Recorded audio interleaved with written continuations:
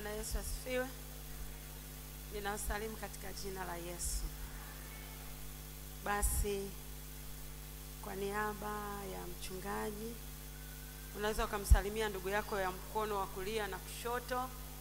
Hebu mwamtakie habari za nyumbani, mwambie unaendeleaje katika imani. Amen. Mwambie nimejisikia vizuri kukuona asubuhi ya leo. Amen. Bwana Yesu asifiwe.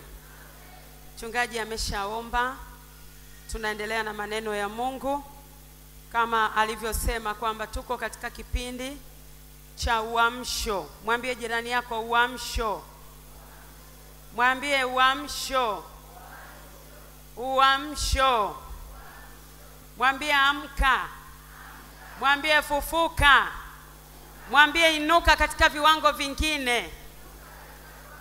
Bwana Yesu asifiwe.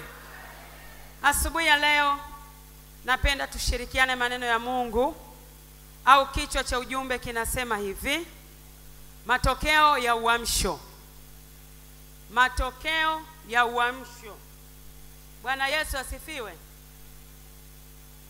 Na nitangulie hivi kabla sijakwenda kusoma maandiko ambayo yanatuongoza kwa habari ya matokeo ya uamsho kwamba kwenye maisha haya tunayoishi ya kawaida tu, kila jambo linalopo, yani kila mtu anapotaka kufanya jambo anatarajia uko mbele kuna matokeo fulani. Bwana Yesu asifiwe. Na asubuhi nikatoa mfano kwamba kama ni mfanyakazi, unaamka asubuhi, unawahi kazini, lakini kule kuwahi kwako kazini kila siku kuna sababu mbele kwamba tarehe kumi na tarehe ishirini na tano au ishirini na nane au thelathini au tarehe moja ninakwenda kupokea bahasha. Kwa hiyo ile bahasha inakusukuma kwamba kila asubuhi lazima uende ofisini. Bwana Yesu asifiwe. Na kama ni mwanafunzi basi lazima usome kwa bidii kwa sababu labda uko chuoni, uko shuleni, unatarajia kwamba baada ya kumaliza miaka miwili, miaka saba, miaka mitatu, miaka minne, kuna siku nitavaa joho. Kwa hiyo yale matokeo ya mbele ndiyo yanayokusababisha usome sana. Yale matokeo ya mbele ndiyo yanayokusababisha uwahi ofisini kwako. Bwana Yesu asifiwe. Hakuna mtu ambaye anaweza akafanya kazi au huduma yoyote isiyokuwa na matokeo huko mbele. Kila mtu anatarajia kwamba kuna matokeo mazuri. Kwa hiyo hilo linakutia juhudi, hilo linakutia bidii. Bwana Yesu asifiwe. Kwa hiyo asubuhi ya leo, kabla hatujaenda kuangalia matokeo, twende tuone mtu ambaye alikuwa na shauku ya matokeo mazuri. Bwana Yesu asifiwe. Alikuwa na shauku ya kuona Mungu anatembea na yeye. Alikuwa na shauku ya kuona yule Mungu ambaye alikuwa anatembea na fulani, akamtaka huyo Mungu kwamba na mimi huyo Mungu ninamtaka. Bwana Yesu asifiwe. Kwa hiyo shauku ya kumtaka Mungu ndiyo inayokusababisha kuamka asubuhi, ndiyo inayokusababisha kusoma neno, ndiyo inayokusababisha uombe. Pasipo shauku, ndugu zangu, hakuna mvua ya uamsho. Bwana Yesu asifiwe. Hakuna mvua ya uamsho, lakini tukiwa na shauku, tukiwa na kiu, nataka nikwambie mvua itanyesha. Bwana Yesu asifiwe. Wimbo wana wanawake nimeukumbuka, unasema fungua malango ya mbingu, mvua inyeshe. Jamani, hata kujibu hujibu. Fungua malango ya mbingu, mvua inyeshe. Oh, fungua malango ya mbingu, mvua inyeshe. Mwambie Roho Mtakatifu, fungua malango ya mbinguni. ninaitaka kuiona hiyo mvua. Wewe mwenyewe binafsi tamani, tamani mvua inyeshe kwenye maisha yako, tamani moto wa Roho Mtakatifu ushuke kwenye maisha yako, tamani kutembea na Mungu, umwone Mungu, mvua ya Mungu ikishuka. Nataka nikwambie, utamwona Mungu, unatembea naye karibu, unaongea naye, mwambie Bwana. Unaweza ukamwambia sasa, Bwana, hapa mi nipite wapi? Au nitembeeje? Kwa sababu ameshuka, yuko karibu na wewe, unaongea naye ba kama baba na mtoto. Bwana Yesu asifiwe. Jamani, mvua ikinyesha, Mungu hayuko mbali. Bwana Yesu asifiwe. Utatembea naye mguu kwa mguu, unamwambia Mungu, Roho Mtakatifu, sasa hapa niendeje? Sasa hapa hii biashara nifanyeje? Hebu nishauri, kwa sababu yuko karibu. Bwana Yesu asifiwe. Naomba basi mtu mmoja anisomee ambaye anaweza kusoma kwa haraka katika kitabu kile cha Wafalme wa Pili sura ya pili na ule mstari wa kwanza mpaka wa kumi na nne. Bwana Yesu asifiwe. Na kwa nini nimeyasoma haya maandiko? Tunakwenda kuiangalia kiu ya Elisha. Elisha alimwona Eliya, aliiona nguvu iliyokuwa inatembea ndani ya Eliya, aliona moto uliokuwa unatembea ndani ya Eliya. Maandiko yanasema hivi, ukisoma sura hizi zingine huko huko nani mwanzo, kwamba Eliya huyu aliwahi kusimamisha mvua isinyeshe juu ya nchi muda wa miaka mitatu na nusu, na mvua haikunya. Maandiko yanatuambia Eliya huyu huyu aliweza kushusha moto ukailamba sadaka. Kwa hiyo Elisha aliyatamani ma maisha ya huyu Eliya, na maandiko yanatuambia ya kwamba ikafika wakati Mungu anataka kumtwaa Eliya. Maandiko tuliyoyasoma yanasema ya kwamba wakati Eliya wakiwa na Elisha, kwa sababu Elisha na Eliya wote alikuwa kama vile ni mwanafunzi wa Eliya. Kwa hiyo alimuona na alijua ya kwamba Elisha Eliya sasa anakwenda kutwaliwa. Kwa hiyo wakaanza safari. Safari yao ilianzia pale Gilgal. Maandiko yanasema ya kwamba Bwana alipomwambia Eliya kwamba aende Gilgal, wakiwa na Elisha wakaenda pale Gilgal, na walipofika Gilgal akamwambia Elisha kwamba Bwana ameniambia kwamba niende Betheli, kwa hiyo kaa hapa. Eliya Elisha akamwambia kama roho yako ishivyo, sitakaa, ninakwenda pamoja na wewe. Bwana Yesu asifiwe, kwa sababu alikuwa anatamani. Nataka nikwambie, kwenye kutamani hakuna kuchoka. Bwana Yesu asifiwe. Kama unataka mvua ya uamsho ishuke ndani yako, nataka nikwambie hakuna kuchoka. Bwana Yesu asifiwe. Tunaitaka mvua ya uamsho. Haleluya! Mvua ya uamsho, hakuna kuchoka. Akamwambia kaa hapa, akamwambia kama roho yako ishivyo, tunakwenda wote Betheli.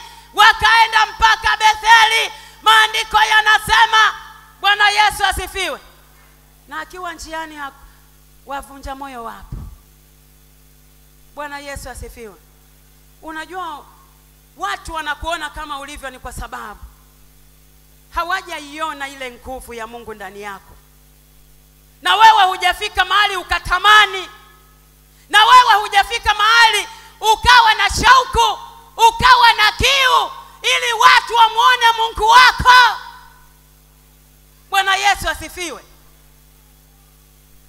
Wakati wanatembea wana wa manabii wanafuatilia, unajua mu Eliya alitumwa kwa ajili ya taifa la Israeli. Sasa hata hawa wanabii wana wa manabii walikuwa wanaongozwa na Eliya. Kwa hiyo waliiona nguvu ndani ya Eliya na wakajua kwamba anayekwenda kuchukua kijiti ni Elisha. Bwana Yesu asifiwe. Na walikuwa wanatamani waione ile nguvu iliyokuwa inatenda kazi ndani ya eliya ndani ya elisha. Kwa hiyo ilikuwa sio kitu cha kawaida. Elisha akaweka kiu na hamu na shauku ya kwamba huyo mungu ambaye anatembea na eliya huyo ndiye mungu au huo ndio moto anaotafuta kwenye maisha yake kwenye huduma yake bwana yesu asifiwe. Ni lazima tuwe na kiu na wivu na mungu. Kuna wivu mzuri na kuna wivu mbaya. Lakini wivu mzuri wa kutumika katika viwango. Bwana yesu asifiwe. Kama ninaimba niimbe katika viwango. Kama ninapiga gitaa nipige vigitaa katika viwango. Kwani hatumsomi daudi? Wakati roho mbaya sauli imempata maandiko yanasema daudi akachukua kinumi akaanza kukipiga. Bwana yesu asifiwe. Akaanza kukipiga katika roho katika upako. Maandiko yanasema roho mbaya ikamtoka sauli. Gitaa tu bwana yesu asifiwe. Uko hapo ulipo kwa sababu hatujafika mahali tukaitamani ile kiu tukatamani ule upako bwana yesu asifiwe. Tunapiga vinanda tunapiga vinubi kwa, kwa ule ustadi kwamba najua kupiga kinanda. Lakini hebu changanya hicho kinanda chako huko kuimba kwako na upako utaona kitakachotokea. Bwana yesu asifiwe. Kuna watu wataponywa kwa kupiga tu kinanda wala hujaimba. Anasikia ule uzindi anasikia mwili unafunguka bwana yesu asifiwe. Tunazitaka huo umwagiko huo. Tunautaka huo moto huo. Bwana yesu asifiwe. Bwana yesu asifiwe. Bado sijaona. Sijaona mtu mwenye kiu. Bwana yesu asifiwe. Tamani usitamani maisha ulio nayo. Tamani umwagiko wa roho mtakatifu. Nataka nikwambie moto wa roho mtakatifu ukiwa ndani yako hautakuwa mtu wa kukwaza utakuwa ni mtu wa kutia moyo. Bwana yesu asifiwe. Tamani chukia maisha ulio nayo chukia hali ulio nayo. Elisha akajit- akajitathmini akaona bwana mfupa uliokuwa juu ya eliya sio wa kawaida. Ndiyo mfupa ambao ninaoutaka ndio mfupa ambao tamani ndiyo nguvu ambayo ninayotamani. Bwana yesu asifiwe. Natamani kuziona nguvu za mungu. Nguvu za mungu zikiwepo ndani yetu hata familia zinakuwa na amani. Bwana yesu asifiwe. Si roho mtakatifu anatembea wapendwa? Makwazo yatoka wapi? Bwana yesu asifiwe. Roho mtakatifu akitembea utakuwa makwazo yanaanzia wapi makwazo yanaanza kwa sababu bado hatujaipata ile nguvu halisi ya moto wa uamsho. Ndiyo tunayotamani. Natamani kanisa la mcrc na waita wanawake na waita wanaume na waita vijana wa kike na wa kiume tuamke kwenye usingizi. Bwana yesu asifiwe. Bwana yesu asifiwe. Eliya elisha akaambiwa baki betheli. Akasema kama roho yako ishivyo bwana mimi nakwenda na wewe. Akamwambia bwana amenituma. Elisha kaa hapa lakini bwana amenituma. Mimi naelekea yeriko. Akamwambia kama roho yako ishivyo sijajua kwamba ilikuwa ni umbali kiasi gani lakini kulikuwa ni umbali. Bwana yesu asifiwe. Akaondoka na elisha. Wakaenda mpaka yeriko. Anafika yeriko wanaelekea wakafika mpaka mto yordan. Eliya akachukua vazi lake maji yakagawanyika. Bwana yesu asifiwe. Tunataka moto wa uamsho wake maji yagawanyike. Bwana yesu asifiwe. Na inawezekana bwana yesu asifiwe. Inawezekana siku moja ukapita ukapita kigamboni maji yakagawanyika ukapita. Bwana yesu asifiwe. Kinachotakiwa kiu. Tunamtaka mungu wa eliya mungu aliyegawanyisha mto Yordani, anaweza kugawanya hata hapo. Bwana yesu asifiwe. Kwani yule mungu aliyegawanya ile bahari ya shamu amebadilika ni mungu yule yule. Mungu wa musa ndiye mungu wetu. Mungu wa eliya wa yordani ndio mungu wetu. Ni jukumu ni letu kuamua kumtafuta kwa bidii. Mambo ya mungu yanatakiwa bidii. Ukisema kwamba unakula ugali alafu umekaa huku unakula ugali alafu nasaka namtaka mungu wa eliya nataka nikwambia itakuwa ndoto uko karibu wenzako wanaomba huku saa kumi na moja alafu una, unaishia maneno namtaka mungu wa eliya nakwambia itakuwa ndoto. Bwana yesu asifiwe. Ni kuamka ni kuinuka. Ni asubuhi nitaomba ni mchana nitaomba ni usiku nitaomba ni asubuhi nitaomba ni usiku wa manane nitaomba shauku na kiu haimpi mtu kulala. Bwana yesu asifiwe. Nataka nikwambie tunaitaka mvua ya uamsho mpaka bwana atakapotunyeshea. Yaani kuacha kwetu ni pale ambapo tutaona mvua hiyo inamwagika kwa vijana inamwagika kwa wanaume inamwagika kwa wamama inamwagika kwa watoto. Elisha hakuchoka mpaka alipolipata lile vazi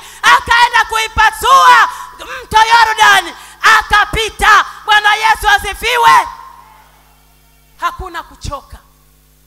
Mpaka kitu kitokee mwambie jirani yako hakuna kuchoka mpaka kitu kitokee. Bwana yesu asifiwe. Mpaka jambo litokee. Hakuna kuchoka. Elisha angechoka angeishia yeriko. Angeishia yeriko na ndio ingekuwa basi. Sasa ifike mahali hata kama wale wana wa manabii walikuwa wanamcheka. Unajua bwana wako anaondola na walikuwa wanafuata. Hamsini manabii hamsini wana wanatembea na elisha kumwangalia nini kitatokea baada ya ya eliya kuondoka. Jamani hebu tuwe na wivu. Kasirika. Kama ni shetani kutuchezea ametuchezea imetosha. Mwambie ibilisi sasa mtangazie kwamba sasa imetosha sasa imetosha. Bwana yesu asifiwe. Nataka nikwambie, tukiwa na nguvu shetani atapisha. Bwana yesu asifiwe. Bwana yesu asifiwe.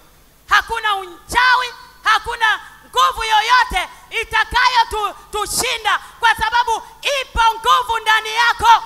Shetani akikuona mwenyewe anaogopa mwenyewe anakupisha njia. Bwana yesu asifiwe. Hata kama pale ofisini kwako bosi wako alikunyanyasa. Sasa ni ole wake ni ole wake. Maana tumetambua tunaitafuta nguvu ambayo itatutetea katika kila mazingira.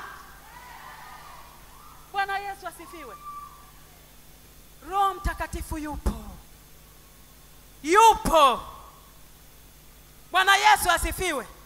Roho mtakatifu yupo ni lazima ifike mahali shetani atambue ya kwamba yuko mtu hapa yuko kijana hapa yuko mama hapa yuko baba hapa. Hata kama wewe ni mama wa nyumbani lazima kijiji kitambue ya kwamba yuko mtu.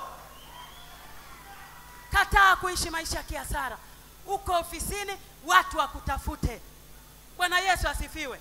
Watafute ushauri kwako lakini ni pale ambapo tutafika mahali pa kukataa pa kuichukia hii hali ya kudharaulika.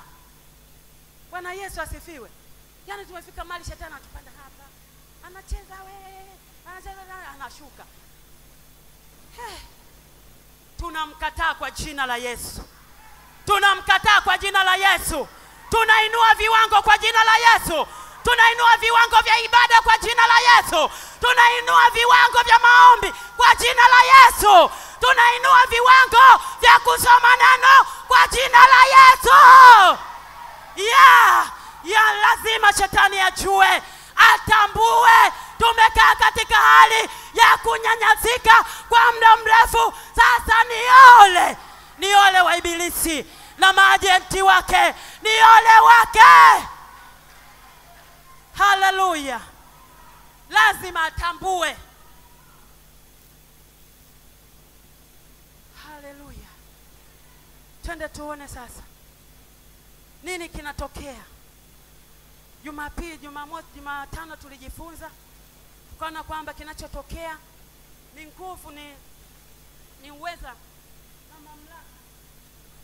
Tunavishwa uweza na mamlaka yanayotokana na neno la mungu. Tunavikwa uwezo tunavikwa mamlaka. Mtu akiwa na mamlaka popote anakaa. Bwana yesu asifiwe. Hanyanyaswi na chochote. Bwana yesu asifiwe. Nina pesa mfukoni sina pesa. Nataka nikwambie ngoja nikwambie. Unajua elisha alitambua. Angeomba magari angeomba nyumba angeomba vitu vinavyoonekana ili aonekane kwamba yeye ni mtu lakini akaona kwamba hivi vyote hata kama vipo lakini kama sina nguvu za mungu ni bure. Ninachotaka ni nguvu za mungu na katika nguvu za mungu hivyo vinapatikana. Bwana yesu asifiwe. Angeomba pale na elia akamwambia bwana umeomba jambo gumu. Akamwambia utakaponiona. Pepo wa kisulisuli ulipokuja sio ule upepo ule. Wa kisulisuli huu unaozungumzia sio huo wa wa visulisuli. Upepo wa kisulisuli wa Biblia uliokuja kumchukua eliya huo upepo wa huko hapana huo umchukui eliya huyo. Huo ni upepo mwingine lakini upepo wa Biblia wa kisulisuli ulipokuja nataka nikuambie